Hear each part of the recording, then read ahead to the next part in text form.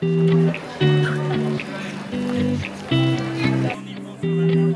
communauté de communes Châteaubriand d'Herval, à travers l'exercice de ses différentes compétences, s'affirme comme une collectivité de proximité. L'année 2019 a été consacrée à la mise en œuvre ou au renforcement de services et d'actions qui touchent à la vie quotidienne de la population des 26 communes du territoire. Économie, commerce, culture, loisirs, petite enfance, environnement ou encore mobilité. Proximité, un mot qui se décline en neuf lettres et qui prend tout son sens sur notre territoire. P comme priorité. La communauté de communes fait du développement économique sa priorité à travers deux leviers majeurs, la formation et le soutien direct aux entreprises. Le Quai des entrepreneurs, installé depuis un an sur le pôle de la gare de Châteaubriand, regroupe en un lieu unique les trois chambres consulaires, les supporters de la création, l'ADIC, ILAN et propose également un espace coworking. Cet équipement accompagne les acteurs économiques et les porteurs de projets tout au long de la vie de leur entreprise, de la création à la transmission, du développement à la formation. 2600 jeunes sont accueillis tous les ans sur l'ensemble des formations proposées dans les établissements de Châteaubriand et de Derval. En 2019, deux nouvelles formations ont été créées sur le territoire pour répondre aux besoins des entreprises locales. Ces formations ont vu le jour grâce à la volonté commune de l'Association des entrepreneurs du pays de Châteaubriand, la Chambre de commerce et d'industrie et la communauté de communes. Afin d'offrir un local plus adapté aux besoins des soudeurs en formation, la collectivité a mis à disposition du Greta un atelier relais situé dans la zone du Bignon à Herbray. Et pour accompagner les entreprises dans leur recrutement, la communauté de communes a développé son propre site internet dédié aux offres d'emploi locales. Claude Darcourt, préfet de la région Pays de la Loire, et Christelle Morancet, présidente du Conseil régional des Pays de la Loire, ont lancé en mars au sein de l'entreprise RBL Plastique à Châteaubriand la 9e édition de la Semaine de l'Industrie. Celle-ci permet au grand public, aux jeunes et aux demandeurs d'emploi d'aller à la rencontre des professionnels de l'industrie, de s'informer sur les métiers innovants qui recrutent et de découvrir les filières. Toujours dans le droit fil des actions de développement de l'industrie sur le territoire, un plan de soutien aux entreprises locales, territoire d'industrie, a été signé en novembre dont les enjeux les plus importants touchent à la mobilité, au logement et à la formation. Soulignons que deux tiers des recettes fiscales de la collectivité proviennent des revenus de l'économie via la cotisation foncière des entreprises, dont le taux est le plus bas du département, et via la cotisation sur la valeur ajoutée des entreprises en constante augmentation sur notre territoire. En effet, cette dernière est liée au nombre d'emplois. On compte plus de 650 créations d'emplois depuis deux ans et un taux de chômage le plus bas depuis 10 ans sur notre territoire à 6,6%. Le dynamisme des entreprises locales s'illustre notamment par la construction d'une nouvelle usine pour Team Plastique, le lancement de la semaine de l'industrie à l'entreprise RBL, les nouveaux locaux de l'entreprise Auxence à Louis ou encore le nombre record de cessions de terrain sur les zones d'activité, notamment sur le parc d'activité des estuaires à Derval.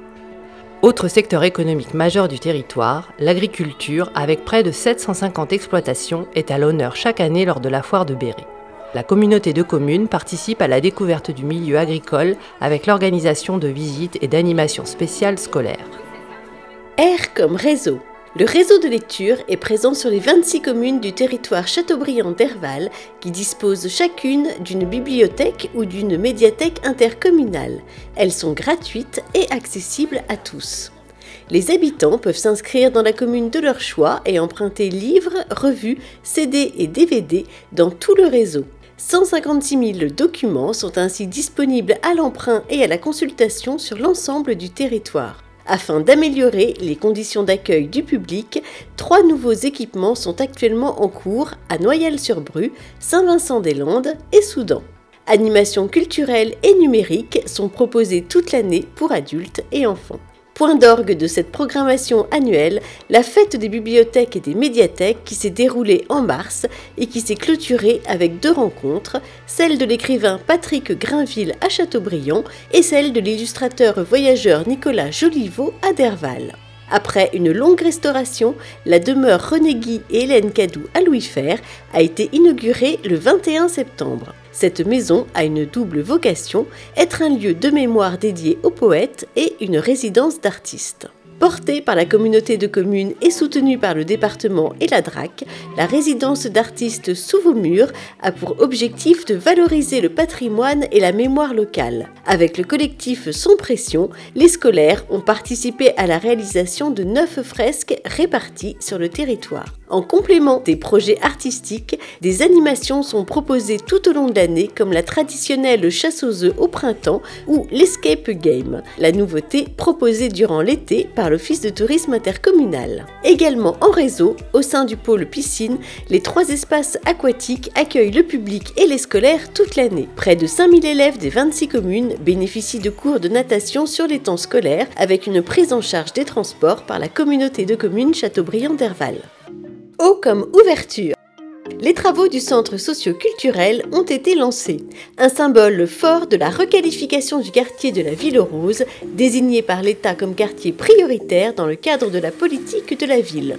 Intégré au pôle service à la population de la communauté de communes, ce nouvel équipement a pour mission de coordonner et de soutenir la vie associative en direction du quartier prioritaire. Ainsi, les quatre associations agréées Espaces de vie sociale ont signé le renouvellement de leur convention de partenariat en novembre. Afin d'encourager l'appropriation des espaces publics par les habitants, un mobilier urbain contemporain, choisi par le Conseil citoyen et les élèves du collège, a été installé au cœur du quartier et sera prochainement complété par un grand jeu. Dans ce même esprit d'échange et d'ouverture à l'autre, la troisième édition du festival Welcome a embarqué petits et grands lors de spectacles époustouflants ou sensibles. Une fête de quartier culturelle et conviviale pour commencer l'année scolaire. X comme xylophone.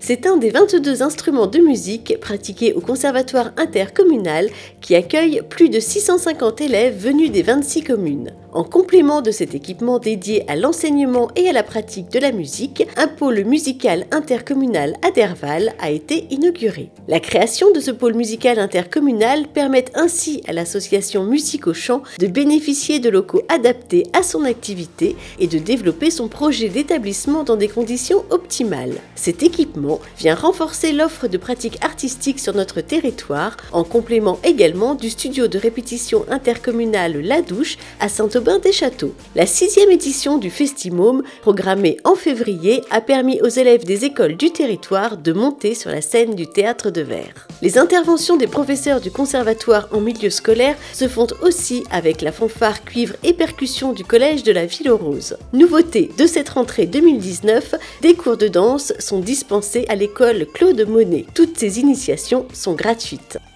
I comme innovation. La communauté de communes a ouvert la Maison de la Mobilité, dotée d'un guichet multimodal sur le pôle de la gare de Châteaubriand. Premier site d'expérimentation en Pays de la Loire à proposer une telle offre de service alors que la SNCF est engagée dans un plan régional de fermeture de ses guichets. L'information des usagers du territoire intercommunal et la vente de billets viennent compléter une station de vélo à assistance électrique et deux bus électriques. Notons qu'il est désormais possible de louer un vélo à assistance électrique depuis les 26 communes. La Maison de la Mobilité a vocation à présenter l'offre des différents modes de transport, le transport collectif, les mobilités actives et les automobiles partagées. Par ailleurs, aux côtés de la région des Pays de la Loire, la communauté de communes s'engage à financer la rénovation de la ligne SNCF Châteaubriand-Retier pour améliorer l'accès des habitants du territoire à la nouvelle gare de Rennes et à ses liaisons grande vitesse.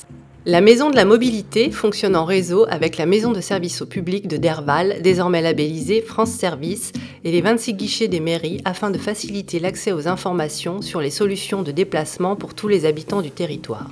Ces services, tout comme la Maison de la Justice et du Droit, traduisent la volonté des élus de renforcer les services de proximité. Pour favoriser les mobilités douces, une nouvelle voie verte est aménagée entre Châteaubriand et Villepot via Soudan. Enfin, la communauté de communes accompagne le projet de contournement de Derval. M comme mutualisation. Mutualiser les énergies, tel est l'un des objectifs poursuivis par les 26 communes de la communauté de communes. Les élus communautaires souhaitent en effet garantir une meilleure qualité des services rendus aux usagers en améliorant l'efficience de l'organisation territoriale et en veillant à réaliser des économies. Cette mutualisation des agents et des moyens se traduit dans les faits par la mise en commun d'achats publics lors de commandes groupées. La solidarité et le soutien intercommunal s'illustrent également avec le dispositif des fonds de concours, et ce, même dans un contexte de repli du soutien financier de l'État aux collectivités. Des opérations validées préalablement continuent ainsi d'être accompagnées par la communauté de communes à hauteur de 200 000 euros par an. En 2019, ce fut notamment le cas pour la Chapelle-Glin, Herbray, Juigné-des-Moutiers, Louis Fer, Lusanger, Moidon-la-Rivière, Mouet, Noyelles-sur-Bru, Petit-Auvernay, Saint-Julien-de-Vouvante, Saint-Vincent-des-Landes et Soudan. Autre illustration de cette mutualisation, le service d'application du droit des sols mutualisé entre les 26 communes. Depuis 2015, dans le cadre de l'application de la loi NOTRe, cette compétence initialement assurée par l'État est transférée aux intercommunalités. Les permis de construire, les déclarations préalables ou encore les certificats d'urbanisme sont instruits par le service application du droit des sols de la communauté de communes Châteaubriand-Derval. Ce service vient en appui technique aux communes. I comme initiative. Quatre nouveaux commerces sont ouverts grâce au dispositif Boutique Test à Châteaubriand. L'initiative s'inscrit dans le programme Action Cœur de Ville et permet à des commerçants de tester leur idée en grandeur nature en disposant d'un accompagnement et d'un appui financier sur le montant de leur loyer pendant six mois. La communauté de communes est également mobilisée pour soutenir les commerçants sur toutes les autres communes. Le service économique de la collectivité est allé à la rencontre des commerçants artisans éligibles à une aide dans les 24 des 26 communes du territoire, hors Châteaubriand et Derval, pour les informer sur le dispositif régional Pays de Loire Commerce Artisanat, et pour les accompagner dans la constitution de leur dossier.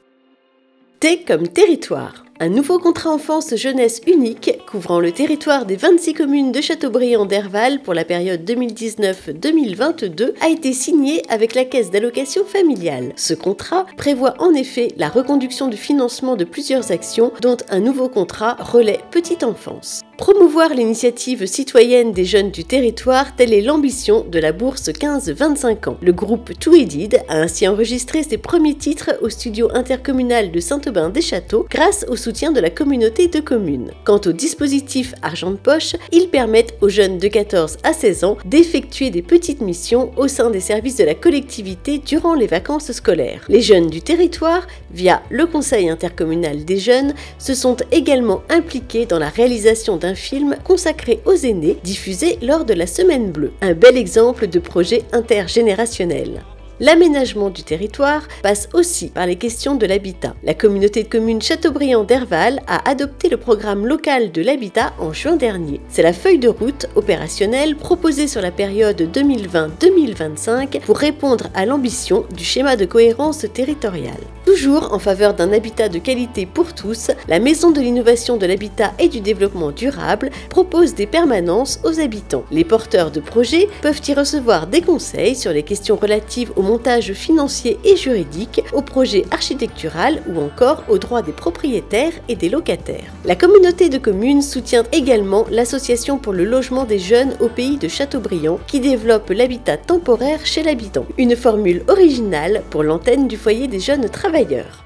E comme environnement. Compte tenu de ses compétences, la communauté de communes est logiquement engagée dans une démarche de développement durable prévue au plan climat, air, énergie territorial au sein de la commission environnement. Afin de réduire les émissions de polluants dans l'atmosphère, la communauté de communes a mis en place une flotte de 88 vélos à assistance électrique sur l'ensemble des 26 communes, que ce soit en location longue ou courte durée ou pour les déplacements de ses agents entre les différents sites. Pour compléter cette démarche, des bus électriques permettent d'assurer des trajets réguliers et plus rapide sur 5 lignes de façon expérimentale à Châteaubriand. Le défi famille à énergie positive devient déclic en 2019. Suite au succès et aux bons résultats de la première édition, la communauté de communes reconduit l'expérience. Réunies par équipe, les familles vont une nouvelle fois relever le challenge de faire baisser leur consommation. Tout au long de l'année, les ambassadeurs du tri du service prévention des déchets sensibilisent petits et grands à la réduction des déchets avec diverses actions et animations organisées dans les lieux publics, les écoles et les accueils de loisirs. Présents sur le terrain, les trois ambassadeurs du tri ont pour mission d'informer et de conseiller les usagers dans l'application des consignes de tri des déchets ménagers.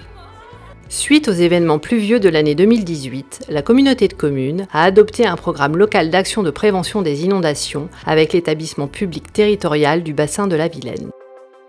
Terminons par quelques chiffres pour résumer le travail réalisé en cette année 2019 qui vient de s'écouler. 6 conseils communautaires, 51 réunions de commission, 5 comités consultatifs, 11 bureaux communautaires, 9 conférences des maires, 136 délibérations et 22 décisions de bureau. Autant de séances de travail qui témoignent d'une volonté de construire ensemble le territoire de demain pour offrir aux habitants des 26 communes des services adaptés, de qualité et de proximité. Les élus de la communauté de communes et l'ensemble des agents vous présentent leurs meilleurs vœux pour l'année 2020.